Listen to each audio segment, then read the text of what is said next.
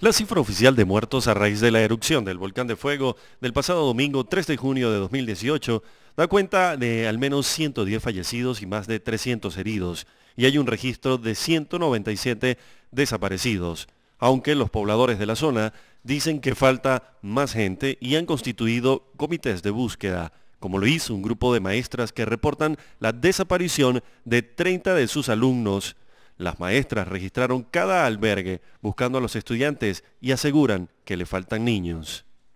Cumplido el protocolo de 72 horas para la localización de personas con vida y por efecto de las lluvias y los peligros de nuevos desplazamientos de material del volcán, las operaciones de búsqueda fueron suspendidas. Pero ahora los sobrevivientes reclaman los cadáveres de sus familiares y se están coordinando operaciones de búsqueda donde los pobladores apoyarán a los propios rescatistas, pese a los riesgos que implica trabajar en la zona afectada, sobre todo porque en las excavaciones la temperatura se eleva por efecto de los gases del material volcánico que sepultó aldeas completas.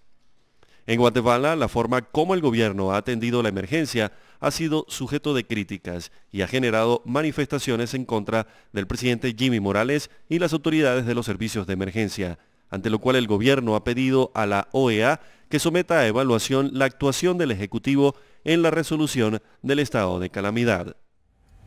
Mucha gente señala y acusa. Nosotros estamos eh, tratando de apoyar y si alguien se sabe los protocolos y los ha seguido al pie de la letra y que nos está apoyando tremendamente para que todos podamos aprender y ceñirnos a esos protocolos, está dirigido por Conred. Si en algún momento algo de todos los análisis y estudios surgieran, eh, estamos hablando de hipótesis, estamos hablando de cosas hipotéticas. Lo que nosotros planteamos es sigamos los protocolos y vamos a ver cómo unidos podemos eh, mantener no solamente la, la fuerza de voluntad, sino las capacidades de podernos recuperar. La ayuda humanitaria sigue llegando con la colaboración de varios países y la solidaridad de todo el pueblo guatemalteco para los afectados de la erupción del volcán de fuego que necesitan alimentos, hidratación y medicinas. Los refugios están siendo coordinados por el ejército para dar una respuesta integral a todos los guatemaltecos que sufrieron de este desastre. Eh, le quiero comentar que ya están organizadas las mesas que van a trabajar los temas de recuperación, de rehabilitación y de reconstrucción del país. Ya se tiene un fondo asignado por parte del Ministerio de Finanzas Públicas y los financieros de cada institución están ingresando los documentos correspondientes para eh, realizar